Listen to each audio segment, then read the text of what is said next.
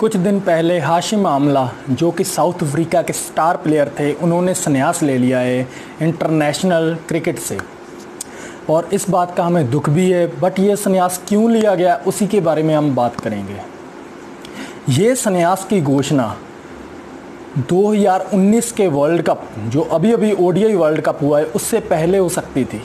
पर उससे पहले हो ना होने की वजह भी हम आपको बताएँगे।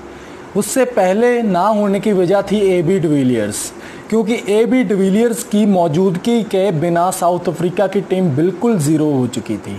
बट हाशी मामला उस वक्त भी संन्यास लेना चाहते थे। अगर उस वक्त संन्यास ले लेते हाशी मामला तो ए बी डिविलियर्स की गैर मौजूदगी हाशी मामला की गैर मौजूदगी साउथ अफ्रीका का कोई चांस ही नहीं बनता था। बट उन्होंने अपने देश के लिए ये इसी चीज़ की भी कुर्बानी दे दी कि मैं वर्ल्ड कप खेलूँगा। बट उसका नतीजा कुछ खास नहीं रहा। हाशिम मामला पूरे वर्ल्ड कप में फ्लॉप रहे। बट उन्होंने फिर भी एक कोशिश की, जिसकी बदौलत उन्होंने world cup 2019 ODI world cup खेला। और उसके बाद जल्दी से अभी एक महीना हुआ है वर्ल्ड कप गुजरे हुए वर्ल्ड कप गए हुए, और अभी उन्होंने फैसला कर लिया। एकदम उसी वक्त करते क्योंकि 2019 का वर्ल्ड कप जब समाप्त हुआ, उसी वक्त ये फैसला करते दोस्तों तो एकदम झटका लगता क्योंकि पहले ही साउथ अफ्रीका की टीम बाहर हो चुकी थी, एकदम से दूसरा झटका देना बहुत बहुत ज़्यादा बुरी खबर हो जानी थी। बट उन्होंने थोड़ा सा एक महीने का वक्फा डाला और उसके बाद ये संन्यास का फैसला लिया।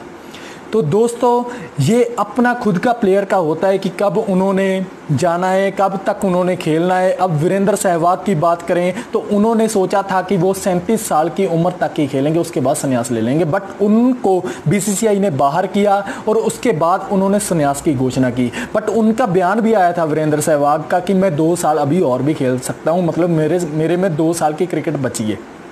बट वीरेंद्र सहवाग जैसे स्टार प्लेयर को अगर बीसीसीआई बाहर कर सकती है बट हाशिम आमला भी अपनी जगह पर स्टार हैं तो उनको, उनकी जो फॉर्म रही है वर्ल्ड कप में, हो सकता है उनको भी बाहर कर देती। बट जो वो प्लेयर थे, उनकी जो खासियत थी हाशिम आमला की, वो उनकी ही थी। हर एक प्लेयर की अपनी खासियत होती है। तो यार, उनकी मर्ज़ी है है ना तो हमें ज़्यादा सैड नहीं होना चाहिए। हमें और, अगर आप साउथ अफ्रीका की टीम को सपोर्ट करते हो तो पूरी टीम को अभी भी सपोर्ट कीजिए। आपकी सपोर्ट की ज़रूरत है। दोस्तों ये प्लेयर की अपनी चॉइस होती है कि कब संन्यास लेना है, कब नहीं संन्यास लेना। तो आज की वीडियो में इतना ही, मिलते हैं अगली वीडियो में टेक केयर